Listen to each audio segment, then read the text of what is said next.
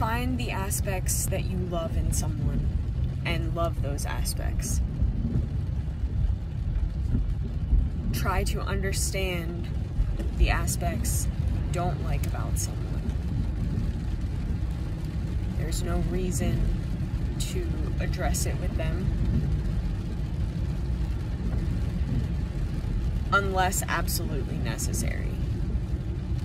Setting boundaries.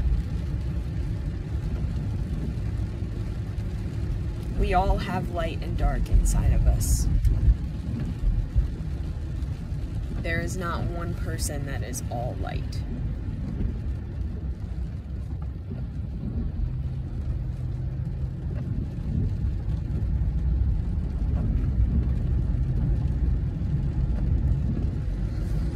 The reason that I say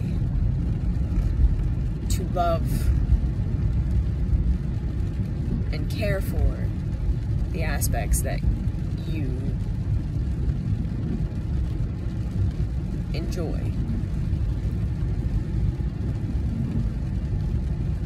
That will make them happy.